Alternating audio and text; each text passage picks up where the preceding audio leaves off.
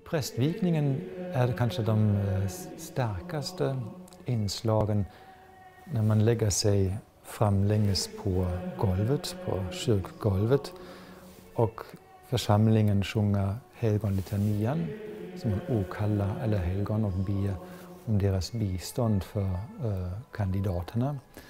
Och man ligger där ganska länge och det är ett tecken på hängivenhet, på underkastelse.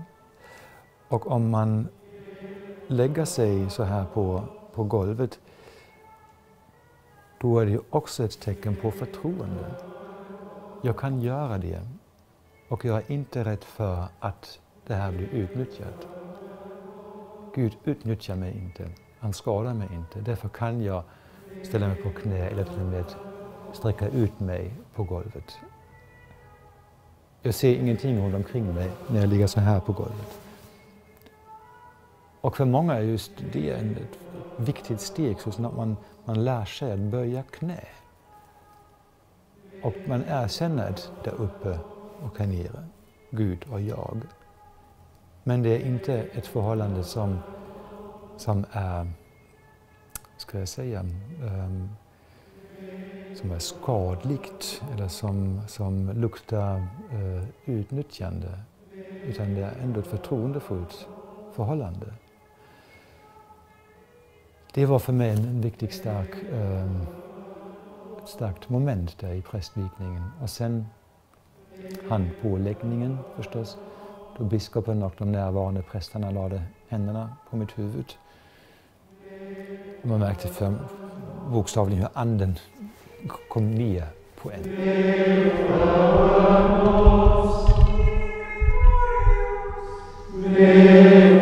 Själva prästvigningen eh, den innebär ju att, att en alldeles vanlig människa sätts in i en, i en tjänst i, i Kristi kyrka för att ta hand om Guds folk.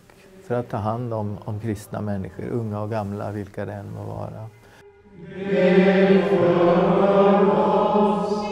I handpåläggningen och också genom den här smörjningen utav händerna så blir man på något sätt avskild för att få en speciell uppgift i Kristi kyrka. Och sen det sista inslaget då i uh, vikningen var att man blir iklädd uh, präst, mässhaken med stolar och mässhake. Och det är yttre tecken på det man har tagit emot. och då blir det tydligt igen att det inte är jag som Dominik Dastrip utan nu är jag präst och står till förfogande för Kristus och det är honom och de troende jag ska tjäna. Alltså jag försvinner på något sätt.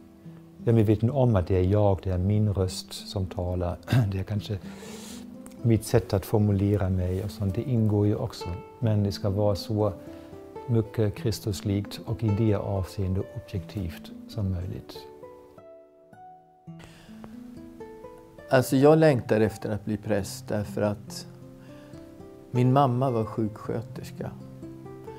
Eh, och eh, en sjuksköterska har ju till uppgift att hjälpa människor som är sjuka. Det är viktigt för mig Eh, att få hjälpa människor på vägen. Eh, och nu har jag ju arbetat som, som terapeut i många, många år. Eh, och just det här att kunna tillsammans med en människa gå en liten bit på vägen för att de ska kunna gå vidare i sina liv. Och det är det som en präst gör. En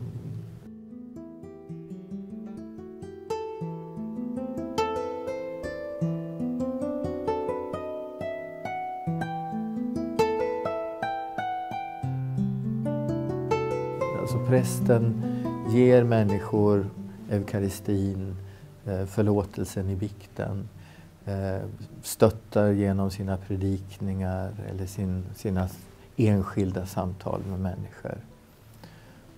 Och målet är ju himlen. Målet är det eviga livet. Men målet är också att eh, vi som är kristna ska kunna leva ett, ett bra liv här på jorden. Eh, ett liv i kärlek till andra människor, i ansvar för, för världen som Gud har skapat. Sen har eh, Kristus gett uppdrag till en del av hans lärjungar att fortsätta göra vissa saker som han själv har gjort. Och då har han gett uppdrag till apostlarna att till exempel förlåta synder, att döpa, att fira eukaristin, nattvarden, eller att smörja de sjuka och allt det som vi idag kallar för sakrament. Jag tror han ville visa, jag behöver eh, män som kan företräda mig för de andra troende. Alltså det, när en präst Ehm, handlar, det gör han det inte av eget bevåg, inte i egen fullkomlighet eller av i egen rätt, utan han ska uh, göra synlig Kristus. Det är Kristus som handlar. Och för, för det troskyrkan behövs det här prästämbetet som Kristus har instiftat. De ville ha det så att några fortsätter med just de handlingar som han själv har utfört och ville att de ska utföras under historiens gång ända till tidens slut.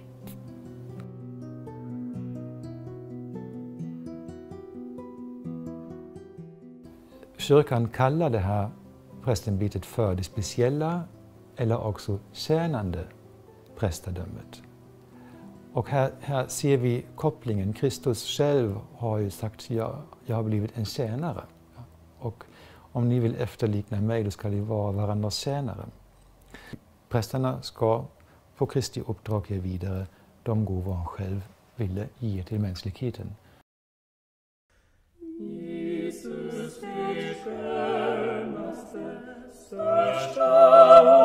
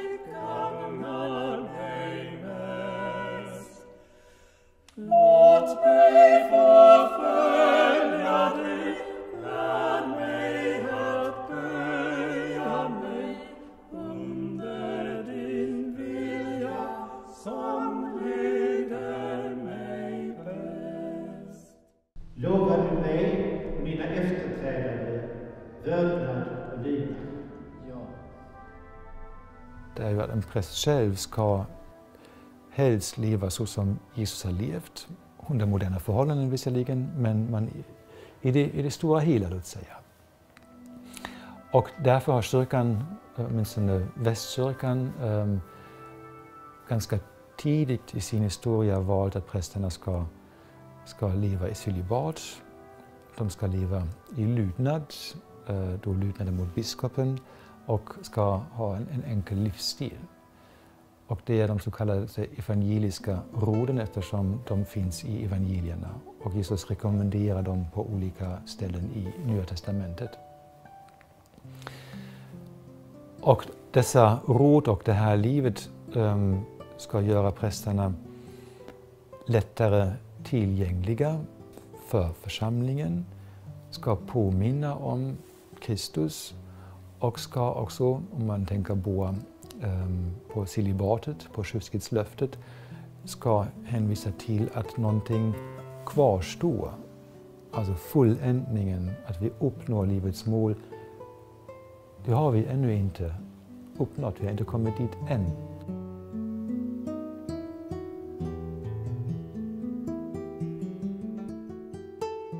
Jag är ju också präst och jesuitpräst.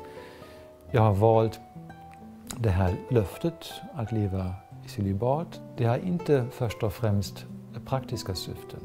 De finns också förstås. Alltså jag har ju mer tid för församlingen. Det är en, en, en aspekt, men en, en underordnad aspekt i det här valet.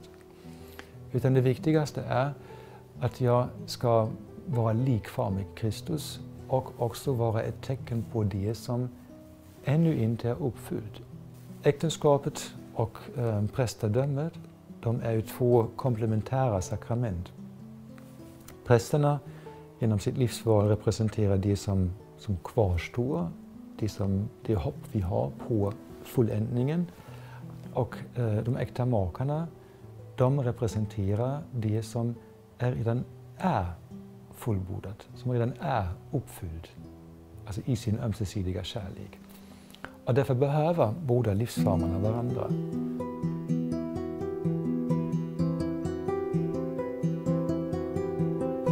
Jag har ingen familj. Och det kan ju vara något utmanande också, och är det. Och det är ett medvetet beslut man fattar. Och, och, vi representerar det som fattas mänskligheten. Ja. Så.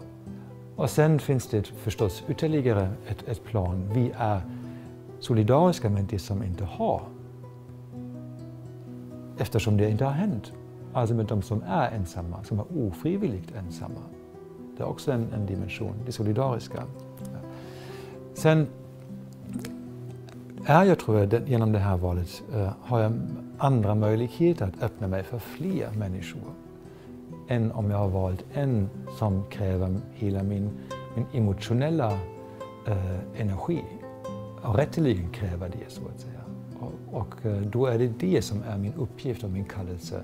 Jag ska vända min kärlek och min öppenhet framför allt till min partner. Men som präst eh, har jag den kallelsen, jag, jag sprider den mer så att säga. Det här mer koncentrerat, det här bredare. Och det finns inget sämre eller bättre. Jag, jag är mycket eh, mån om att säga att båda behöver varandra. Vi kan inte bara ha dem som är så breda. Eh, vi kan inte bara ha dem som är så, så, så um, koncentrerade på en. Vi, vi behöver de båda. De, de är två, som två poler som, som behöver varandra. Det är inte bättre eller sämre.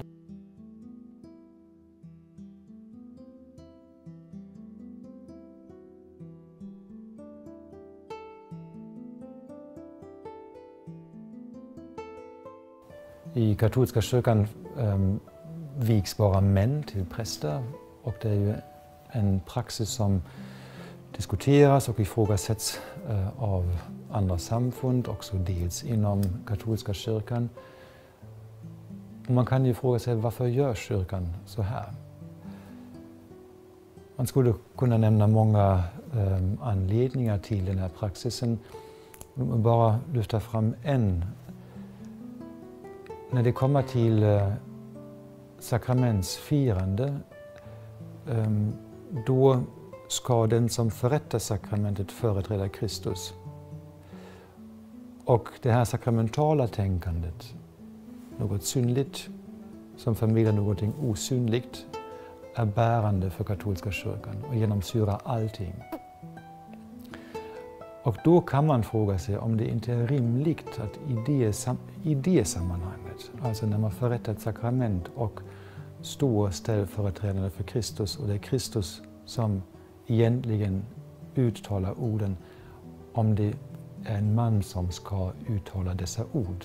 Om vi nu tänker på mässan till exempel, att det är en man som uttalar detta är min kropp, detta är mitt blod. Kristus var man. Han är den människoblivne guden, men människan i största allmänhet finns inte. Det finns män och kvinnor. Och um, det kan vi inte komma undan, så att säga. Det, det, är så. Och vi kan inte eh, fantisera eller spekulera vid sidan av historien som den faktiskt har hänt. Frälsningshistorien har det här utseendet. Och man kan rimligen säga det är nog riktigt att i sakramentala sammanhang var en man ska ha det här stället. En annan fråga är hur man organiserar kyrkans liv. Och då kan man kanske vara, hitta på andra lösningar. Inte allt som heter beslutsfattande makt måste ligga i, i eh, prästernas händer. Och eh, då skulle kyrkan gynnas av en, en, en större, ett större deltagande och delaktighet av kvinnor. Det finns mycket kvinnor redan nu gör och kan göra i kyrkan men där har vi eh, en del kvar att göra.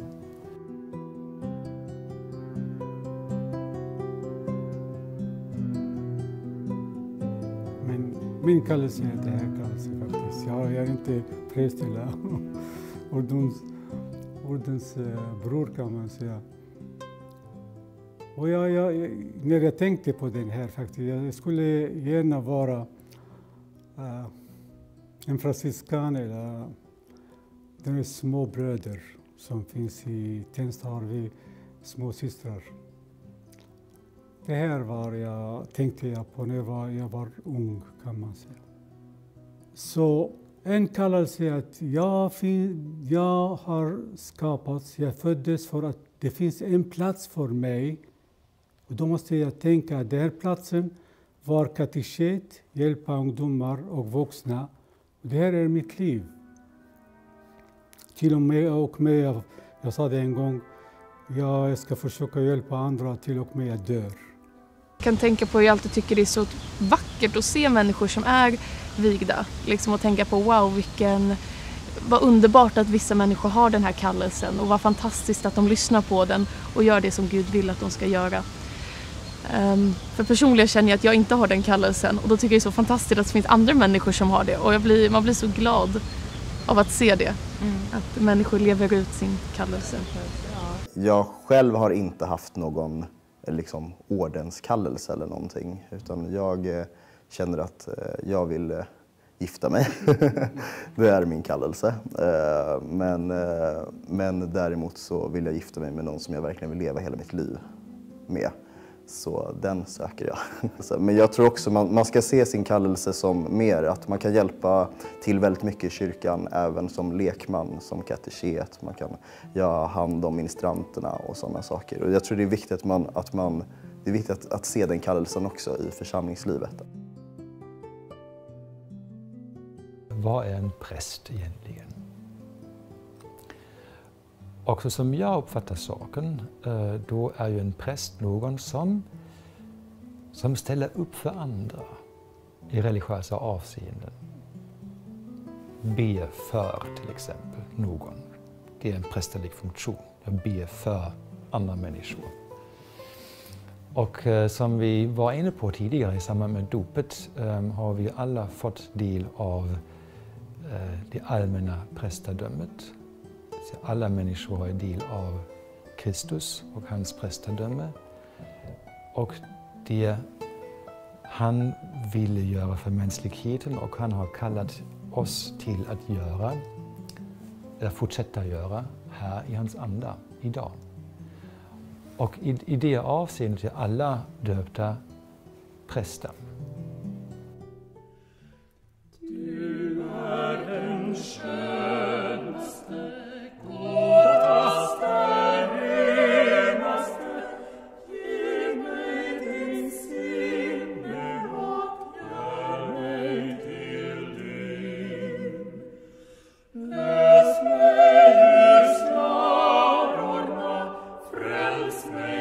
on fire.